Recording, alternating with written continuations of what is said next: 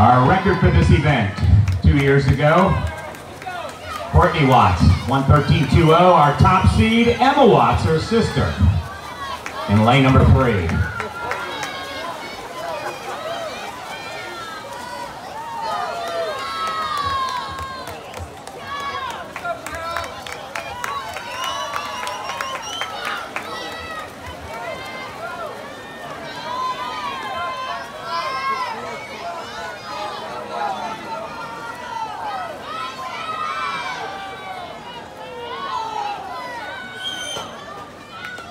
And abreast they go. Watson three.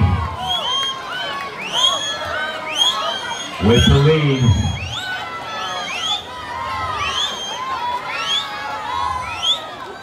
Emma Watts, Cardinal Hill, lane three.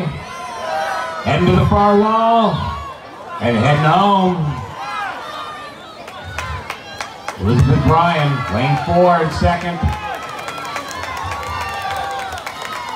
Home she comes. Heading to the flags and to the finish. It's going to be lane three. It's going to be Emma Watts, 117.33, Cardinal Hill. Nice job, Emma. Second place, lane four, Elizabeth Bryan, Ilda, 120.32. Nice job. Third place, down lane two, Claire DeBritney. Sideburn Run.